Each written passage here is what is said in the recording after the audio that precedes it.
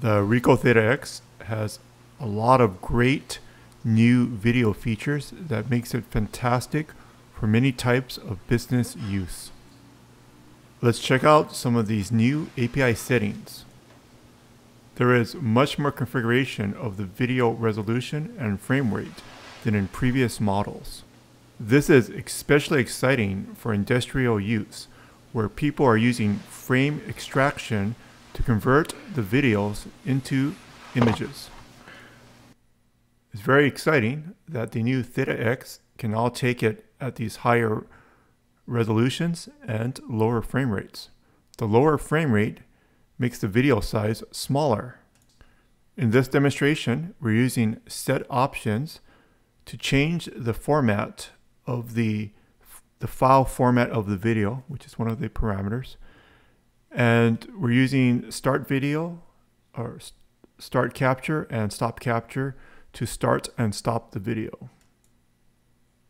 In addition to industrial use, the X has these great new uh, API support for 5.7K uh, video at 30 frames per second. So pretty exciting. Uh, it's the first Theta to support uh, 60 frames per second. And I tested out, it, it looks quite good.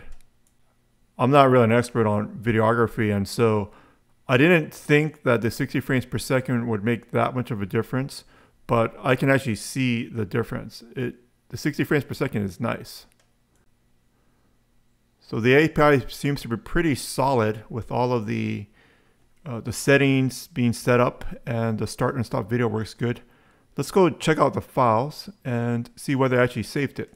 For this demonstration, I just connected the Theta X with a USB cable to my Windows PC the camera appears like a storage device on the desktop. So I'm just going to drag and drop it for this demonstration over to a folder on my Windows uh, computer so that we can check it out. Both the web API and the USB API do support file transfer. So you could transfer the videos over with either of these two uh, APIs. However, you can also just plug in the camera and have it appear as a storage device.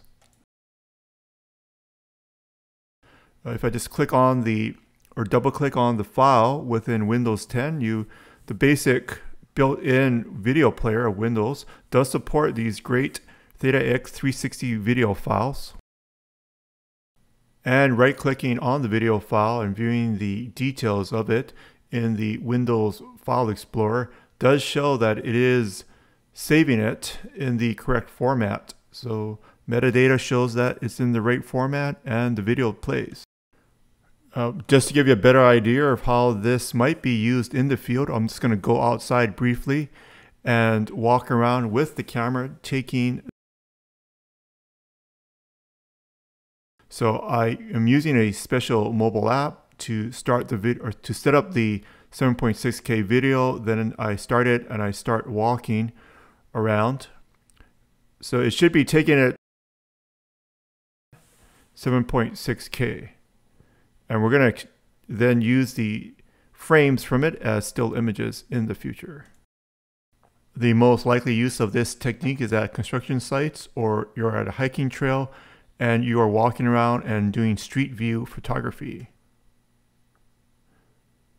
The idea is to convert these 7.6K video frames into still images.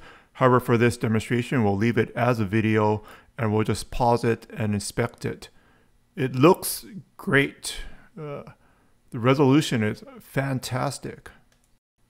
In my opinion, it's a quantum leap forward compared to the previous Ricoh Theta models for this type of use. After using the built-in Windows application, I decided to switch over to the official Ricoh Theta desktop application. I did not attempt to use any top-bottom correction. These are for the purpose of most likely converted it into still images. And occasionally I'll pause it and zoom in and it looks fantastic. I'll be using this feature quite a bit myself. Wow, this is a fantastic way to take a bunch of still images very easily just by walking around. The format in video actually makes it somewhat easy to scroll through it and find the exact frame that you want uh, for extraction. Of course, you can extract all the frames uh, automatically with different types of software.